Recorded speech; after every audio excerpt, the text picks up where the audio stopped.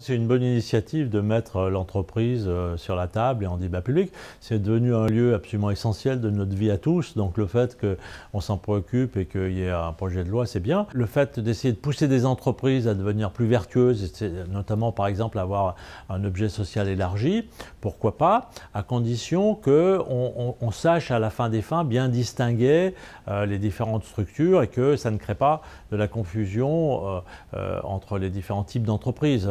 Euh, il faut reconnaître qu'aujourd'hui, euh, l'économie sociale et solidaire, c'est 10% euh, du PNB. Ça veut dire qu'il y a 90% de l'économie qui n'est pas ESS.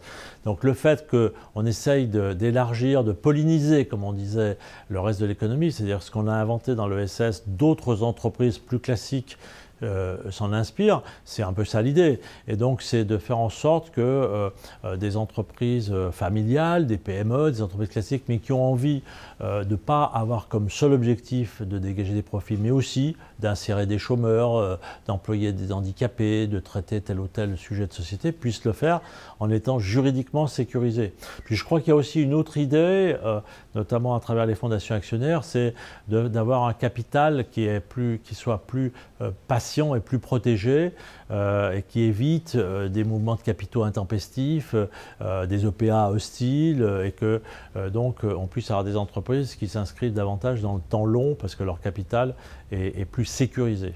Après, il faut regarder ce qu'il y aura dans la loi, parce qu'il y a l'intention de la loi et puis il y a le texte de la loi.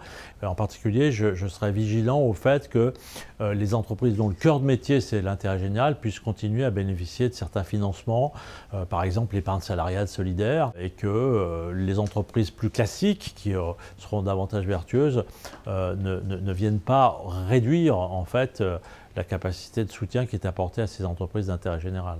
Pour ce qui euh, nous concerne, nous, économistes sociales et solidaires, notre propos, c'est de dire tant mieux si on essaye d'encourager des entreprises à être plus vertueuses, mais nous ne voulons pas disparaître dans un espèce de grand fourre-tout un magma dans lequel les gens ne s'y retrouvent plus. C'est déjà assez compliqué.